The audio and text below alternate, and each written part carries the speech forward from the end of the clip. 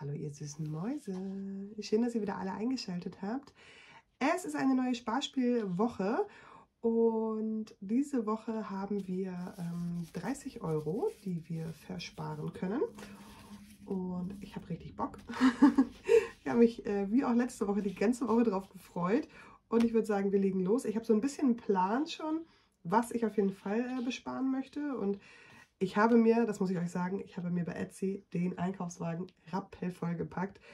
Ich habe so viele Pläne fürs nächste Jahr, wie ich das Ganze angehen möchte und was ich wie ich sparen möchte. Ich bin so gefangen in dieser ganzen Thematik. Also ja, habe richtig Bock und glaube, dass das ein richtig gutes neues Jahr wird. Aber noch haben wir dieses Jahr und noch ähm, haben wir hier unseren Spaß und ich würde sagen, wir können hier gleich starten. Ich zeige euch nur noch mal kurz, was ich gemacht habe. Ich hatte ja sonst in meinem Heft, äh, in meinem anderen Heft, ähm, immer eine Übersicht hier mit den fixen Kosten ähm, auf dieser Seite und dann habe ich hier ja die, die Variablen gehabt und hier meine Sparspiele.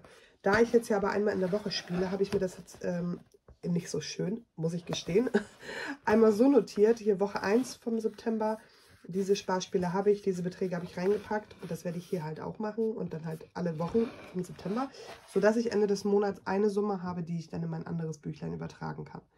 Ähm, ich glaube, das macht Sinn. Ich hole mal eben das andere Buch, dann zeige ich euch das mal, wie ich das meine, falls ihr die anderen Videos zufällig nicht gesehen habt. Ähm, wartet kurz. Was nehme ich kurz beiseite? So. Hubbel. Wildes Durcheinander. Also ich habe ja hier meine äh, variablen Kosten und da unten halt die Challenges.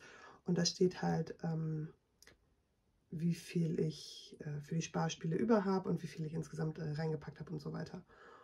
Und diese Übersicht ist natürlich monatlich und da ich das monatlich auch weiterhin äh, auf dem Zettel habe, möchte ich das jetzt halt jede Woche einmal notieren. Ich glaube, das war verständlich. Also, genau, das packe ich aber alles an die Seite. Ich wollte euch das nur informativ einmal sagen. Und dann würde ich sagen, starten wir auch direkt durch ich glaube, das hier ist das erste, was wir machen können. Und ich hole euch mal ein bisschen dichter ran. Das hier ist ja meine Geschirrspüler-Challenge. Ich muss dazu sagen, ich habe jetzt die nicht getrackt. Tatsächlich. Also ich weiß, dass ich die sechs hier voll habe, die hier noch fehlen. Das auf jeden Fall. Aber ich habe nicht getrackt, wie oft ich den Geschirrspüler anhatte. Ich habe sonst immer eine Strichliste geführt, habe ich jetzt nicht gemacht, weil ich wusste, ich werde die Challenge abschließen. Und ja, ich überlege, dass ich sie einfach nochmal mache immer und immer wieder, weil ich ähm, ja so halt auch immer eine Kleinigkeit sparen kann. Aber ich werde dann erst im Oktober wieder anfangen. Ich werde mir eine neue Challenge basteln hier, irgendwas Schönes. Und dann werde ich dann im Oktober erst damit durchstarten. Deswegen ähm, ja, habe ich das jetzt hier nicht in schön gemacht. Wir werden natürlich der Vollständigkeit halber trotzdem diese Löffel hier anmalen. So, so hübsch, wie ich es immer mache.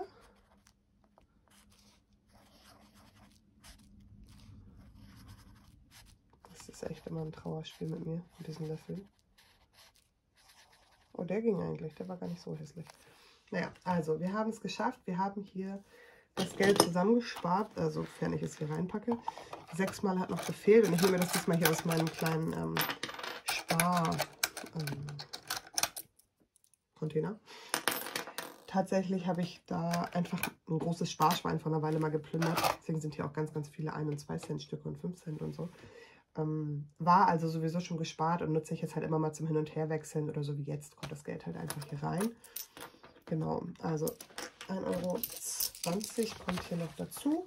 Und wenn wir alles richtig gemacht haben, sind hier hoffentlich dann 14,40 Euro äh, drin. Das werden wir noch kurz checken, ob das auch so passt. Das wäre ja gut. So, das alles beiseite. Dann haben wir 5, Euro, wir haben 10 Euro, 12, wie kann das sein? 13 Euro und 60. Was ist da los? da ist irgendwas schief gelaufen. Da müssen irgendwie noch 80 Cent rein. Aber das ist kein Problem, das machen wir einfach. Ähm, wir nehmen jetzt einfach die 80 Cent hier und packen die hier zu. Keine Ahnung, was da nicht in Ordnung ist, aber ja, genau. Und dieses Geld möchte ich ähm, dann versparen. Ich nehme erstmal hier das aus diesem Binder raus erstmal. Ja, ich möchte da was Neues reinmachen, aber ich habe das, pack das Geld erstmal zurück hier rein. Dann können wir die Hülle immer noch wieder reinpacken, wenn wir was Neues haben. Damit ich weiß, das Teil ist abgeschlossen. So, erledigt. Ich weiß noch nicht genau, für welches Sparziel das ist, deswegen, solange ich das noch nicht so ganz genau weiß, werde ich das äh, erstmal beiseite packen. So, dann haben wir hier unseren restlichen Spaß. Äh, und wir gehen das Ganze einfach mal durch. Und ja, ich möchte aber, glaube ich, das Feld wieder so ein bisschen von hinten aufräumen. Ich kann euch sagen, äh, Flaschen-Fun-Challenge habe ich diesen Monat, oder diese Woche gar nichts. Ich habe letzte Woche ja 3,74 Euro äh, gehabt. Diese Woche habe ich irgendwie keinen Pfand gehabt, beziehungsweise ich bringe den Behälter halt erst weg, wenn er voll ist. Und ähm, ja, deswegen ist diese Woche nichts. Da werde ich dann auch gleich in mein Büchlein nichts eintragen. Vielleicht nehme ich mir das hier schon mal rüber. Dann kann ich das immer parallel machen. Also was hatten wir gerade? 6 sind 1,20 Euro plus die 80 sind 2 Euro, die wir reingeschmissen haben bei Geschirrspüler. Ne? Das zähle ich mal mit den 2 Euro vom letzten Mal. Dann haben wir bei Pfand heute nichts. Ähm, tatsächlich, wenn wir mal ganz nach hinten gehen, haben wir auch bei der Kleingeld-Challenge heute nichts, weil wir haben ja nur diese ähm, Scheine, die ich hier hingelegt habe, weil, ähm, ja, wir erst Ende des Monats ja unsere ganzen ähm, Mäppchen leeren von ähm, den variablen Kosten und da kommt dann halt wieder Kleingeld so, ne? Aber jetzt im Moment ist halt nichts an Kleingeld und deswegen ähm, bleibt das einfach so. Also mache ich hier bei Kleingeldsammlung auch mal einen Strich in meinem Heftchen.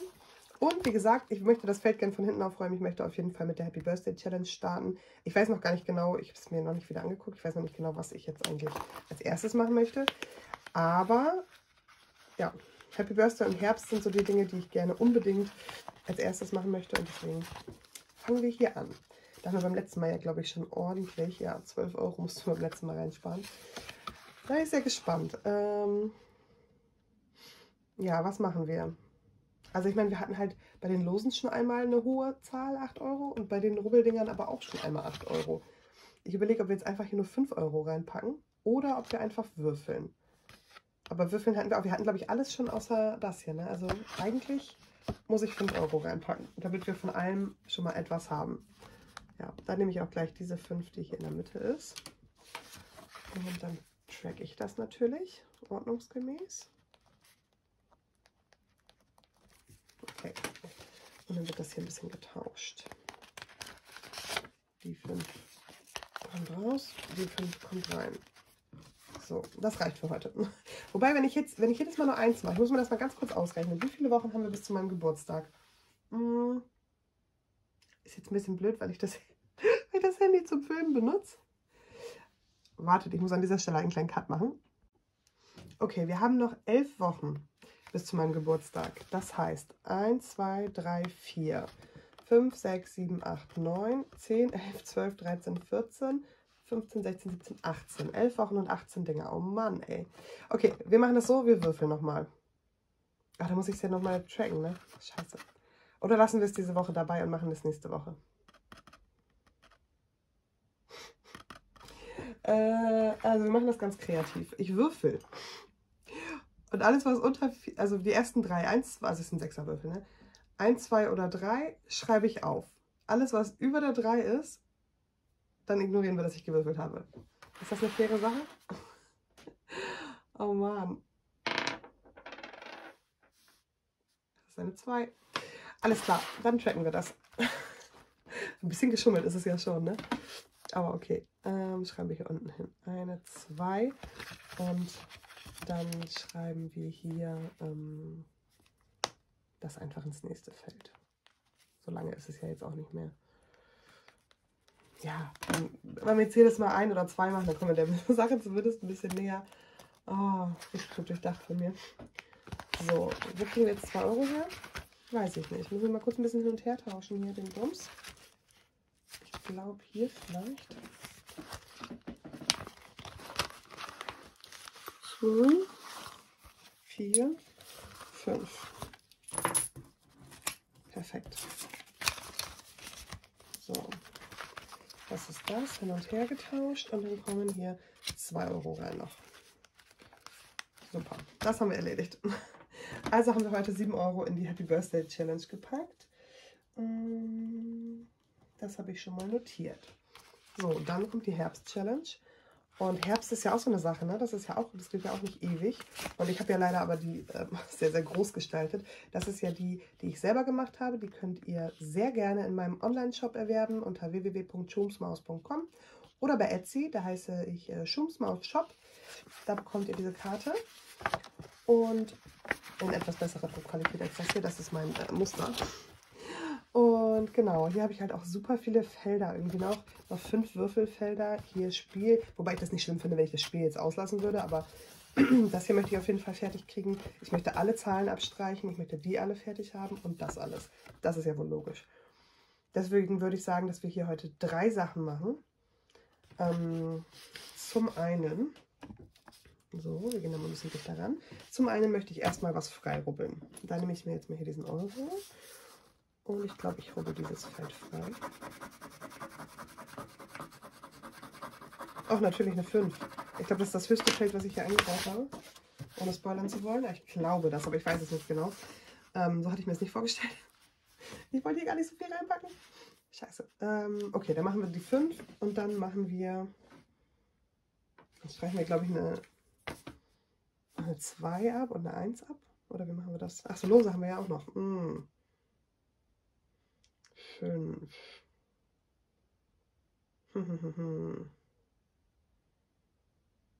Das ist eine gute Frage, ne?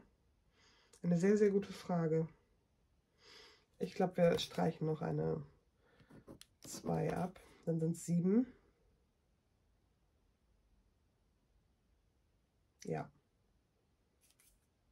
Oder? Und noch eine 1. Komm, das sind 8 Euro. Ah, Mann, 8 Euro. Dann haben wir hier 16 Euro drin.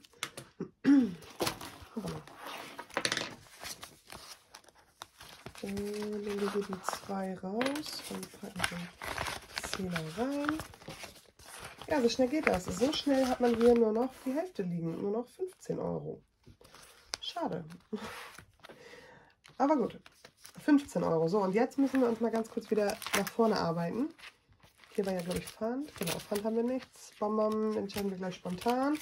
Wir machen wieder den Wunscherfüller. Einfach, weil es ja irgendwann vorangetrieben werden muss.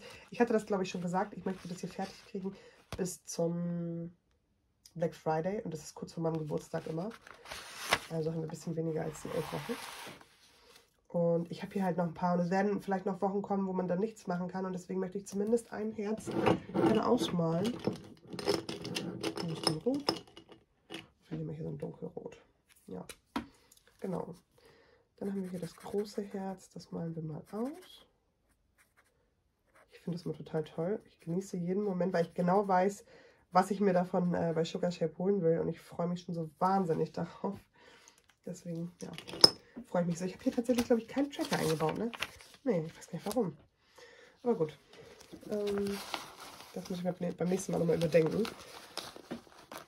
So, zwei nehmen wir raus. Und zehn packen wir rein.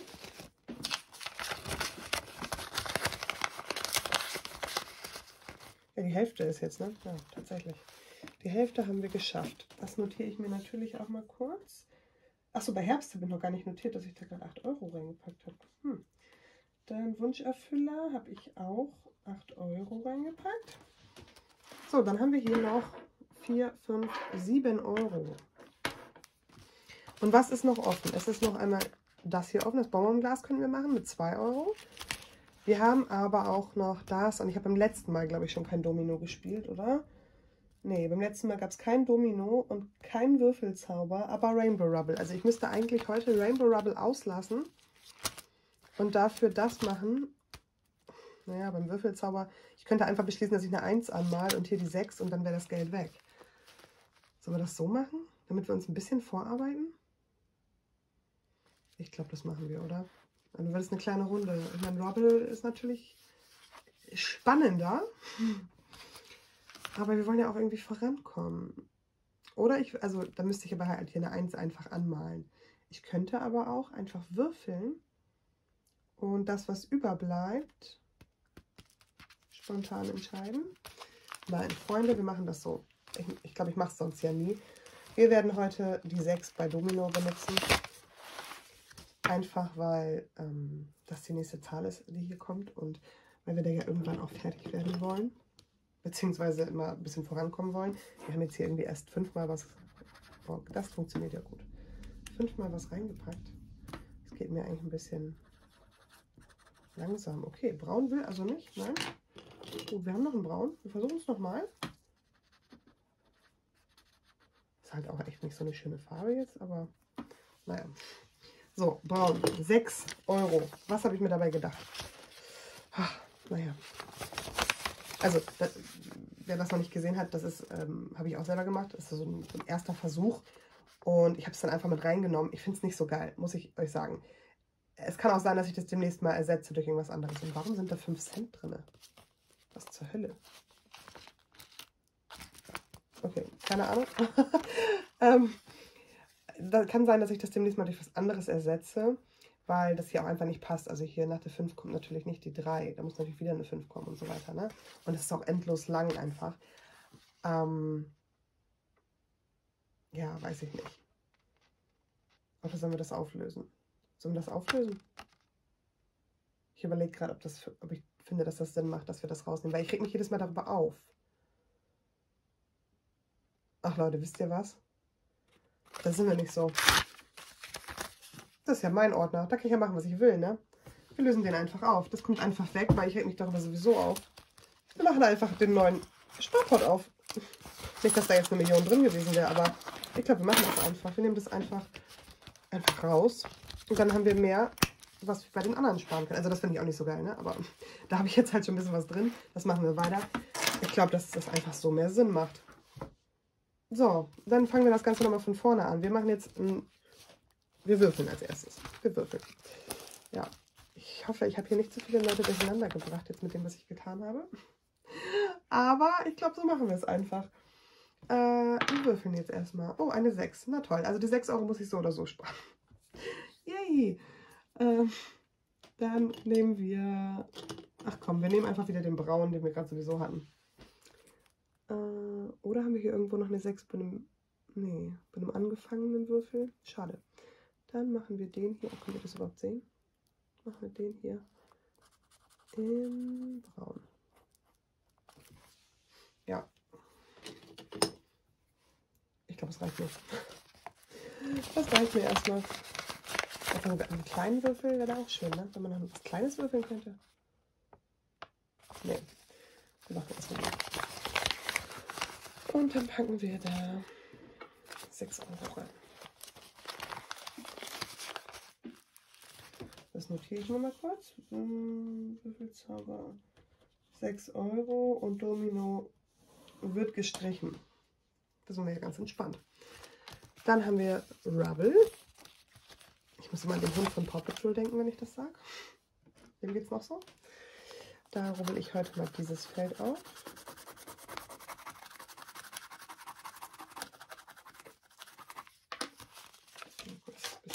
schütteln hier. Das waren 3 Euro. Mm.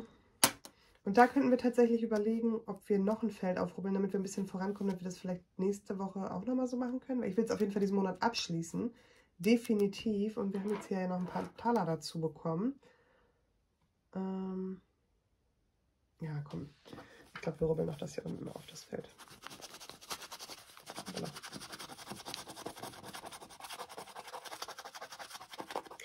Also warum ich die Challenges so schnell abschließen möchte oder auch immer mal eine rausnehmen, ist, dass ich einfach so viele schöne im Internet gesehen habe oder mir selber erstelle oder so. Und einfach, ähm, ja, das hier so die erste Variante ist. Deswegen ist im Moment noch ein bisschen Umschwung auf meinem, äh, in meinen Videos oder in meinem Bein dann, aber ja. so ist es. So, ähm, wie machen wir es jetzt? 6 Euro müssen rein. Ich weiß nicht, was ich gerade dachte, was ich hier mache keine Ahnung. Die drei hatte ich ja schon. Die drei schnappe ich hier auch noch. Die kommen alle rein. So. Rainbow Rubble 6 Euro. Dann haben wir ja noch das Bonbonglas. Und was haben wir hier noch in Talern? 2, 3, 4, 5 Euro. Und dann haben wir hier doch noch ein bisschen Kleingeld. Vielleicht machen wir doch noch was in die Kleingeldsammlung, Freunde. Dann könnten wir hier nämlich wieder eine 5 durchstreichen. Wäre das nicht eine gute Idee? Wir das machen würden? Oder soll ich eine 2 durchstreichen und lieber noch was bei der Herzstimmung mitnehmen? Aber ich meine, es ist natürlich auch schön, wenn wir da ein bisschen vorankommen, ne? So, wo ist mein gelber Stift? Ich finde, wir würfeln. Ähm, Wenn es eine 1 bis 3 ist, packe ich 2 Euro rein. Wenn es eine 4 bis 6 ist, packe ich 5 Euro rein. Okay, es ist eine 5, also packe ich 5 Euro rein, weil es ist auch tatsächlich direkt die 5. ähm, ich nehme diese 5 hier oben. Dann packen wir da wieder 5 Euro rein. Haben wir ja beim letzten Mal auch, habe ich mich sehr darüber gefreut. Und hey, was ist hier los? Dann geht das Ganze wenigstens schön seinen Gang. Wie ihr seht, also ich habe das einfach nur damals auf Papier ausgedruckt. Das ist natürlich total ätzend. Aber, na gut. Wir kommen der Sache ein Stückchen näher. Und dann haben wir hier noch das bisschen, was wir tatsächlich dann doch noch in die Kleingeldsammlung packen. Ähm, ich habe da jetzt keinen Bereich für 50 Cent, aber wir tauschen das einfach ein bisschen durch in meinem, ähm, in meinem Schränkchen da. Äh, da, da, da, da. 1, 2, 3, 4, 5. So, und diesmal male ich es auch tatsächlich mal an. Äh, aber wie viel haben wir denn überhaupt? Wir haben 20, 30, 40, 50, 60, 70, 80, 90. Einen Euro tatsächlich. Einen Euro und bei Bonbon Glas hatten wir 5 Euro. So.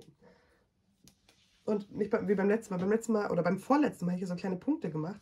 Und dann habe ich im letzten Video einfach irgendwie das ausgemalt, obwohl das schon ein Punkt war. Also ich glaube, ich habe hier jetzt ein kleines bisschen zu wenig ausgemalt, aber ich hoffe, es ist nicht so schlimm für euch. so, wir haben zwei 5-Cent-Stücke. Das heißt, wir malen hier zwei Kringel an. Dann haben wir zwei, vier, sechs, sieben mal 10 Cent.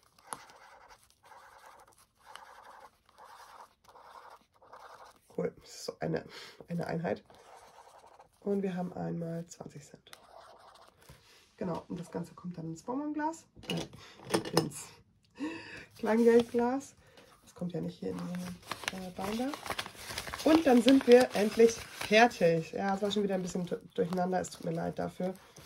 Ähm, ich hoffe, dass das nächste Video ein bisschen sortierter wird mit mir. Und ich hoffe, dass es euch trotzdem gefallen hat. Und ich möchte euch jetzt noch mal kurz etwas zeigen, was mir meine liebe Cousine zugeschickt hat. Äh, das Kleingeld packe ich erstmal hier an die Seite, das werde ich gleich wegpacken. Meine liebe Cousine hat mir nämlich eine schöne, ähm, ja, ein schönes Päckchen geschickt. Und zwar, oh, das ist schon wieder abgefallen, das ist ein bisschen, bisschen schade, aber es ist nicht so dramatisch. Ähm, so was total Süßes mit so kleinen ähm, Klebezetteln. Also das sind so kleine Post-its. Immer dieses, immer dieses hier und immer dieses. Finde ich richtig, richtig süß. Sowas, äh, mit sowas kriegt man mich ja. Dann hat sie mir so verschiedene ähm, Sticker-Sets geschickt. Also ich muss das mal so machen, damit ihr es besser sehen könnt. Ähm, einmal dieses Sticker-Set hier. Das finde ich schon schön. Dann einmal dieses hier. Es ist so ein bisschen, auch da oben auf dem Schreibtisch und so, was liebe ich ja. Dann einmal dieses hier.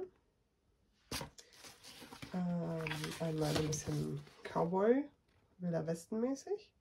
Und jetzt kommt das Schönste, wie ich finde. Ich liebe einfach äh, diesen Elefanten und ich liebe diese, diesen Haufen hier und diese Giraffe. Diese Giraffe ist einfach so süß. Und dann, und deswegen hat sie mir eigentlich ein Päckchen geschickt, hat sie mir diesen Block geschickt, den es beim Action gab, aber leider nicht bei unserem Action. Und er ist einfach nur so wunderschön. Da sind ganz viele Sticker drin. Äh, hier zum Beispiel ganz viele Blumen und dann dieses Thema, was ich auch super gut finde. Ähm, hier sind Blumen. Ich versuche mal ein bisschen durchzublättern. Hier ist halt so Liebe. Sowas. Dann aber auch irgendwie sowas altmodisches. So fancy Schriften. Das sieht total cool aus, so weihnachtlich. Ganz viele ähm, ja, Wohnungszubehörsachen. Federn haben wir hier, sowas. Ganz viele ähm, Sprüche und so. Das habe ich auf irgendeiner Seite schon mal gesehen. Ich gucke mal eben. Ich glaube weiter vorne. Hier ganz, ganz, ganz viele. Richtig cool. Also ich bin ähm, ja, total in Love. Und habe mich sehr, sehr gefreut, als mich dieses Päckchen erreicht hat. Genau. So. Ich hoffe, euch hat das Video gefallen. Ich freue mich wie immer über ein Däumchen nach oben. Spart fleißig und wir sehen uns in der nächsten Woche wieder. Bis dann.